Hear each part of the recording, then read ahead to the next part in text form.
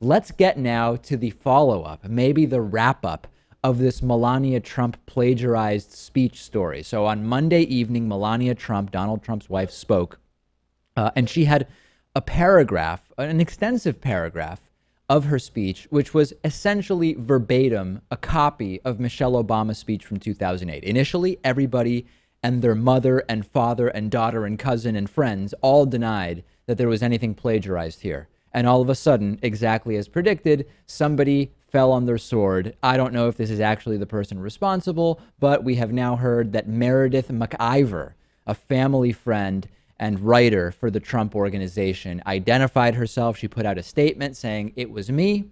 It was all my fault.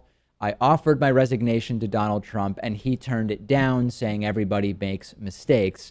Um, the explanation is that she was supposedly on the phone with Melania Trump, and Melania Trump told her about some of the stuff she likes about speeches and mentioned, I guess, a Michelle Obama speech. And then it was uh, Ms. McIver who decided to include verbatim, essentially, portions of that speech. Here is Donald Trump talking about this for the first time with George Stephanopoulos and, of course, redirecting. At the speech by Melania, we learned today that uh, someone who works with you all, Meredith McIver, offered her resignation. Why not accept it? Weren't you angry? Just made a mistake. And I thought it was terrific the way she came forward and just said, look, it was a mistake that I made. And she thought it was very unfair to Melania. Although Interestingly, the press treated Melania very well because they didn't think it was her. So you've had some amazing entrances. Yeah. So basically, the guy known for firing people. I mean, basically, Donald Trump's uh, reality show, his television career is based on firing people. Uh, now saying, "Hey, you know, she made a mistake. It's an embarrassing mistake." Melania went up there and and just regurgitated a speech from eight years ago that the current first lady gave. Eh, it's just a mistake. Now, interestingly Donald Trump has previously blamed Meredith McIver. Uh, in 2007, in a deposition, Donald Trump was grilled over whether he had overstated his debt uh, uh, and, and uh, whether he had understated his debt, thus overstating his net worth. And he acknowledged that there was an exaggeration in one of his books, but he blamed this exact same woman. Take a look at the transcript here from the deposition, and you'll see in the very bottom left, uh, I'm sorry, bottom right of this page that we're showing you, he was asked why, uh, uh, what, what was actually going on with that, and he said, you know, he doesn't know that it could have been Meredith McIver because uh, she is the one who was writing a bunch of this stuff. So, big picture, yet another disaster. This started on Monday.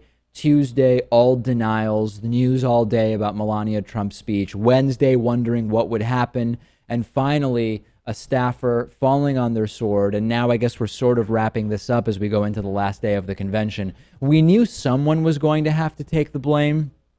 Is Meredith McIver really responsible for this? Who knows? It doesn't even really matter. What's more interesting is that it may have actually been a violation of campaign finance laws for the Republican nominee to use a private corporate employee to write a campaign speech. Meredith McIver, to the best of the investigators' knowledge, the journalists that have looked into this, she's a full time employee of the Trump organization, not paid by the campaign. And it is actually a criminal offense for a campaign to use private resources willingly and knowingly. Uh, will anything happen? Obviously not. Don't worry about it. Don't even give it another thought because who cares? It doesn't matter that Trump has been commingling charity donations with campaign events. It doesn't matter that this also may be a violation. It's Trump. He could shoot people on Fifth Avenue and uh, nothing bad would happen. I've talked about how people of all ages, but particularly millennials, are owning cars less and participating more in the sharing economy. And one of the more popular options is Zipcar, which gets you a car when you want it, when you need it. They offer all sorts of cars, SUVs, hybrids, whatever you need. It includes insurance and it includes gas. You just pay for the time that you actually use the car. And you can reserve the car online from your smartphone over the phone. Then you unlock it with your zip card. Each car share member reduces their personal CO2 emissions by between 1,100 and 1,600 pounds per year. For our audience, Zipcar is offering $25 of free driving credit if you sign up at joinzipcar.com slash David.